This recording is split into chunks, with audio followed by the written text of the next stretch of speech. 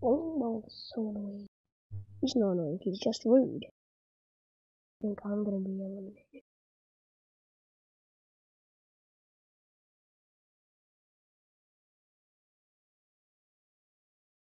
We got about only one vote and two votes. Stop and suddenly you're safe. Cake, Jawbreaker, Bowling Ball, and Violin, you guys are safe too with zero votes. Fox and Kitty, you both are safe with zero votes. The next person safe is Gary. Say goodbye, Egg. Challenge is to climb the tallest tower. The last team to do so is in deep trouble.